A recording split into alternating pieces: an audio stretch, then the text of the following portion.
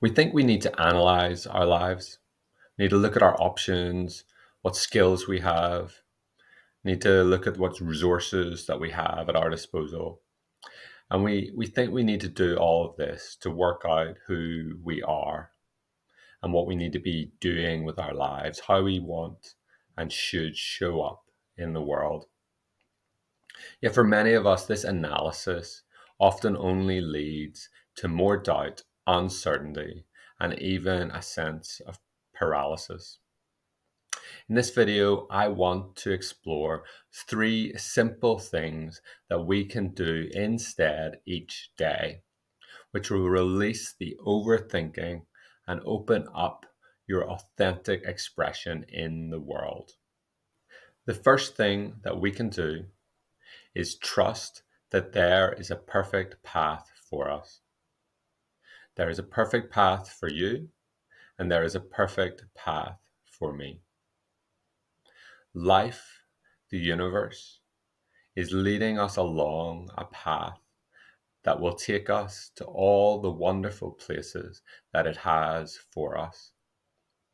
Having this belief, cultivating this belief in a perfect ideal path for us is fundamental to letting go of this overthinking and this overanalysis and trusting that life has more for you. And now, the second thing that I want to invite you to try is to accept opportunities that come to you. So, simple opportunities to talk to someone, um, an opportunity to to go to an event with other people. You know, your friends may invite you, and rather than analyze and consider, say, "This is what life is bringing to me to right now," and so I choose to say yes to it. So it can be these smaller opportunities, but then again, it can be larger opportunities. So an opportunity um, for a job, you know, I, I, someone from recruitment might contact you and say, "Would you like to go for this opportunity?" And instead of pushing it away or thinking, "Is it right? Is it not right?" Why not have that conversation to discuss that role? why not update your CV um, and and see where it all goes.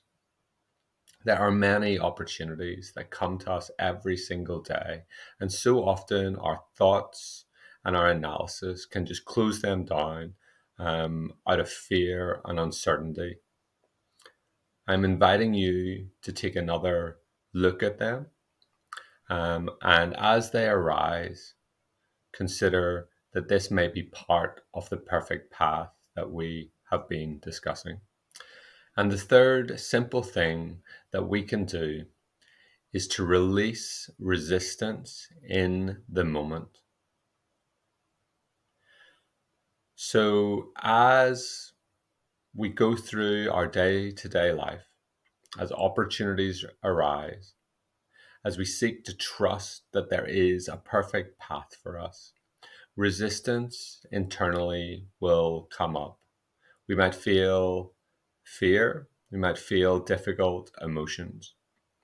Uh, we might start to start to overanalyze um, and have thoughts and beliefs that aren't conducive to just allowing the opportunities and allowing life to flow through us.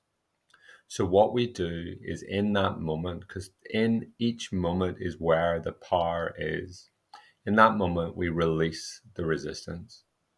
We acknowledge the feeling, we acknowledge the belief, but we let it go.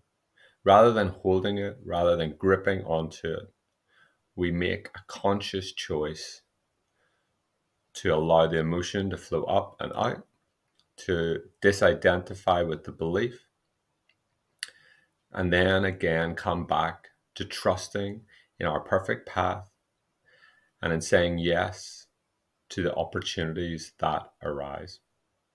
So, those are three simple things that we can do to stop our overthinking um, and to stop trying to analyze and work out our lives. You might think it is a little simple, or you might think again, um, overthink that how on earth could this work? But in simple terms, what you are doing is letting go.